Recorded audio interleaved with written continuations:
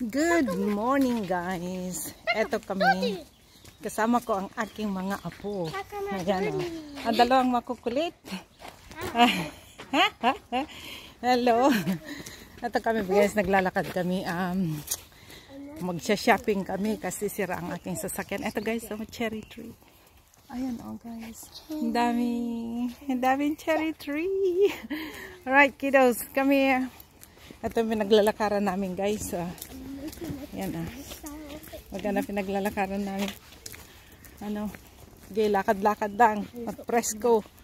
Hindi naman ma hindi naman masyado malamig. Chill lang. Yan. Ah.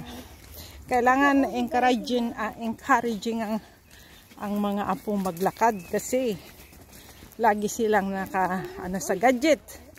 Kaya ngayon ay weekend, no gadget do a little bit physical exercise.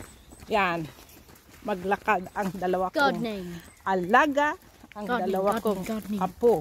Gardening. Eh, magagarden kami mamaya.